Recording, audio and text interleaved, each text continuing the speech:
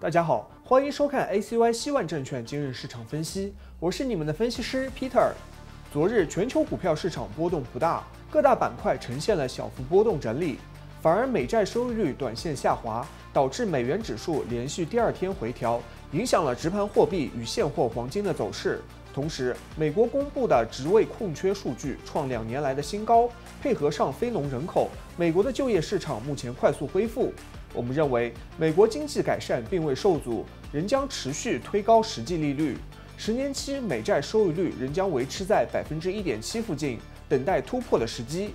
短线下挫并无法扭转收益率上涨的格局。美元价值受到了底部支撑，而金价也将相应承压。需要注意，美联储将于今日美市盘中公布货币政策会议纪要，关注政策方面的收紧计划。从黄金日线图来看，金价的整体下行趋势仍保持完整。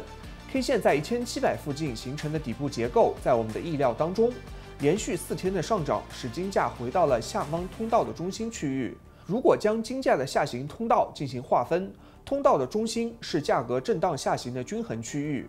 在回到中心区域后，金价上方将承受较大的压力，或出现下跌的行情。指标方面同样释放了利空的信号。五十日均线保持向下，提供了阻力。动量指标在反弹穿破零线后，回到了零线位置。指标整体趋势向下，仍处在空头局势当中。黄金现价已经触及到了 W 底形态的颈线位置。考虑到基本面的利空，在现价位置将出现一定的卖压，有空单入场的机会。从小时图来看，金价在触及到颈线供给区后，动力有所减缓，在一千七百四十附近开始震荡。指标方面，MACD 柱线收敛下穿零线，快线出现拐点，不过慢线还未出现跟随。整体来看，金价短线仍有向上的动力，但是动力可能无法突破上方供给区的压制。交易策略可以选择短线空单入场，入场点位主要看颈线的压制，一千七百四十五到一千七百五十五区间将提供不小的阻力效果。考虑到黄金波动性较大，止损可以相应的扩大。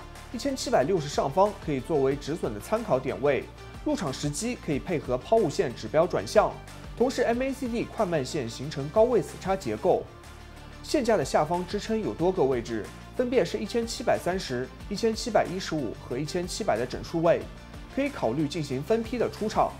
最近油价波动较大，美国原油维持在六十美元每桶附近来回震荡。昨日，美国能源信息署 EIA 上调了今年原油价格的预期至五十八点八九美元每桶，仍低于现价的水平，使昨日的原油价格冲高回落，最终小幅收涨。从美油小时图来看，油价维持了震荡局势。今日早盘，油价受到支撑并有所反弹，随即指标形成了底部金叉形态，提供了一定的上行动力。不过，之前我们提到过，油价从技术面来看是飞盘即跌的形态。EIA 的预期油价提供了空头动力，短线交易仍保持了高空策略。原油的震荡中心可能从六十下滑到五十九，空单入场的时机可以看六十点五附近的位置，该位置受到了二三三均线与前高点的双重阻力。由于做的是波段行情，入场空单可以配合随机指标的超买区死叉，以提高交易的胜率。需要关注今日发布的原油库存数据。接下来我们来看一下今日关注数据。美国方面有两月份贸易账，当周 EIA 原油库存。